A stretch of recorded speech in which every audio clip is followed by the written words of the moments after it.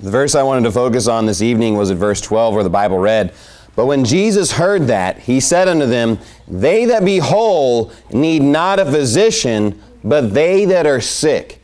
And the title of the sermon this evening is Vaccination Snake Oil.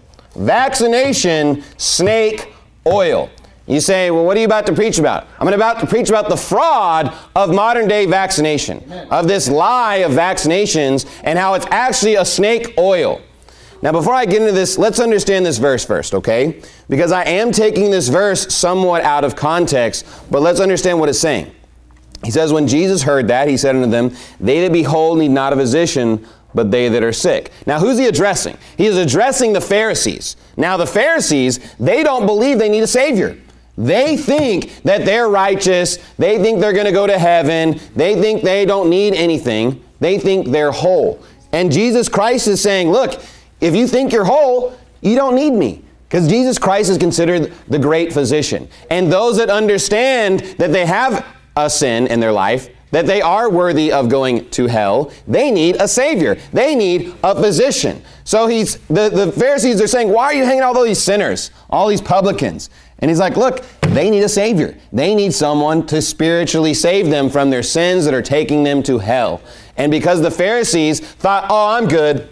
I don't need Jesus. I don't need a Savior. I'm, I'm good. I don't, I don't believe that I'm going to go to hell. Look, he's like, well, I guess you don't need a physician then, do you, buddy? I guess you think you're whole. We'll figure out how that works out on Judgment Day when you're judged according to your works.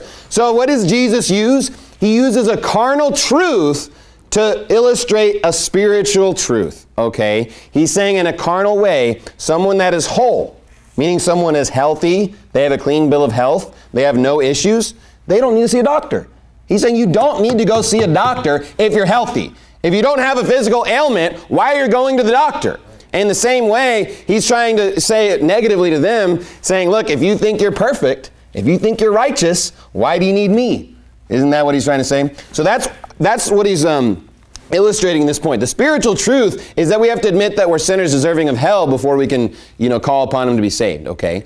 But Jesus Christ does not use carnal examples that are false to prove spiritual truths. No, he uses carnal truths to prove spiritual truths. And the carnal truth still applies that if you're healthy, you don't need a physician. And that's why I hang, you know, my hat. You say, what do you think about vaccination? Well, why would I give a healthy baby a disease?